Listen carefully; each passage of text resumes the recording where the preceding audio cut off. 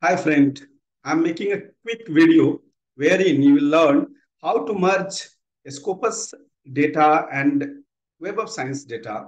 You can combine them and then you can have a bibliometric analysis paper, right?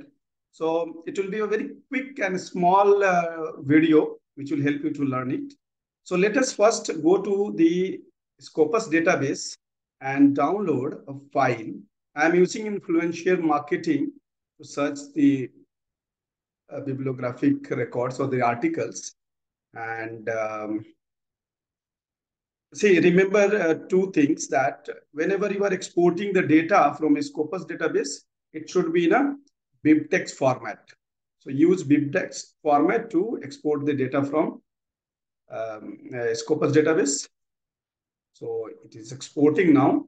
Meanwhile, I'm going to the Web of Science um, uh, database, uh, the website, and I'm searching with the same keyword. Here, you can see there are 207 documents I have found. So I'm exporting. So Web of Science data, uh, you should uh, export in plain text. This you should uh, keep in your mind whenever you are exporting. Uh, always for the merging of the file, this is the basic rule that the Scopus database from there in the BibTeX format and from Web of Science database, it should be in a your um, uh, text TXT format.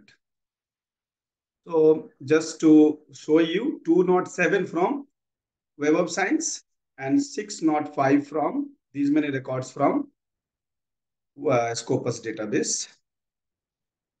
Now, what I have done that uh, my files are in document. It has been saved here. Just uh, I'm deleting this thing so that, and I'm renaming it. Okay, this is my Web of Science WOS. I'm making it, and this is my Scopus. I'm just giving the name as Scopus. You can give any name. It's not uh, mandatory that you follow me only. Now, the first thing, when you open the RStudio, you can merge the file only in the RStudio. Okay. So when you are opening, please, the session that you are working, please set the working directory. So choose the directory where files are. The files are in my downloads file folder. So select, make it the default. You can see here BJ and downloads. Uh, now I'm going to run some codes. These are very basic codes. First of all, we need to load the library file of bibliometric.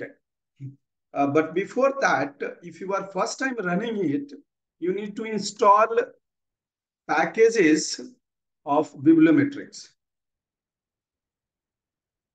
Okay, first time if you are running, if you have already running uh, this, these things in your um, uh, computer, then you no need to run it. But if you are first time running, then you run it first. The install that package is bibliometric. It will, take, it will take few seconds. Now it is active. Here you can see the blue, uh, this um, icon is ready here. Now you go to the library and activate the bibliometric library because the package and all the functions and coding we are going to access through the bibliometric library only. Now, again, we have activated the bibliometric uh, library. Let's go to load the info, load the data of both the database that we have downloaded. So remember, I have given the file name for the Web of Science data that is WOS capital. Uh, it is very case sensitive. Remember, where whatever the capital or small letter you are using in the name, it should be as it is. Very case sensitive the software is. So I am loading the data of uh, Web of Science. So I have given web underscore data as a name. You can give any name, okay? You can give other name also. But whenever you are giving the other name, here you have to change.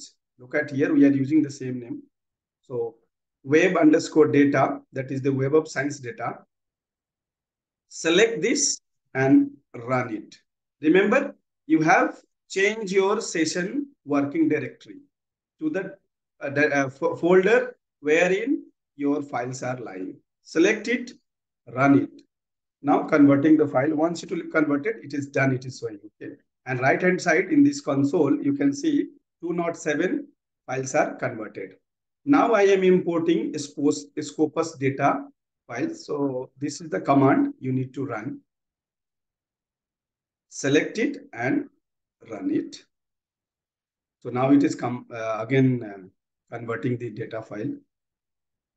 Uh, now it is converted and right hand side again you can see in the environment, global environment um, quadrant, this Scopus data 605. You remember 605 we have downloaded from Scopus and 207 uh, documents we downloaded from Web of Science. Now the importing of the data from both the databases is over. Now I'm going to run the command combining both the files. So combined, this is merged DB sources. And this is here you need to take care. Whatever the name you have given for Web of Science, so as it is, it should be.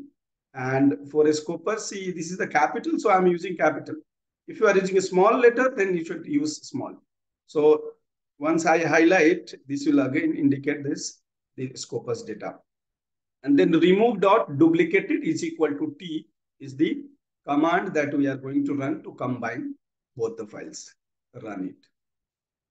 You can see 142 duplicated documents have been removed.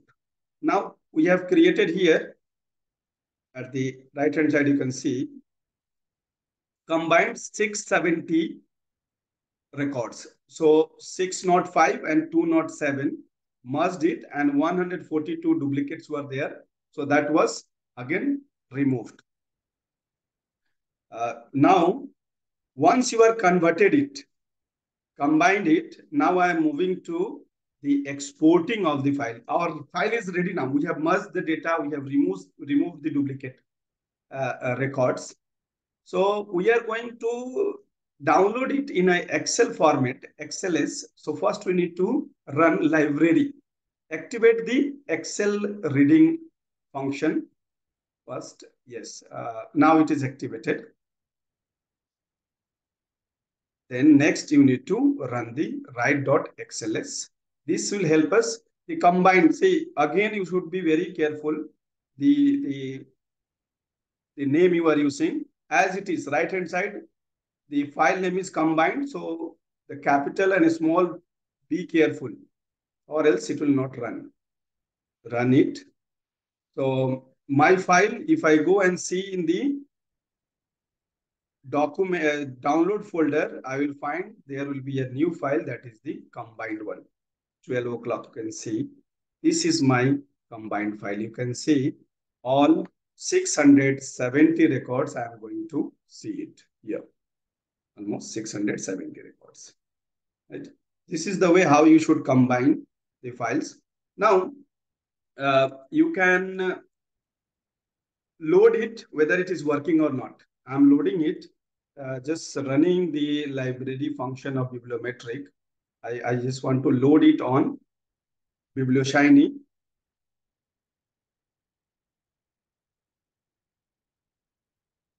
And show you whether it is working on. Yeah. Now go to the load data. And remember, this time we should choose load bibliometric files. Go to the browse and locate your combined file Wait few seconds, just few seconds you wait. Let it load. And then we'll click the start. We can. So it again, it takes few, few seconds to load the entire file.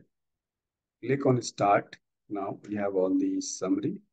Close it. So data is ready. So now we can have our bibliometric analysis on this data set. Thank you. Thank you for watching this video.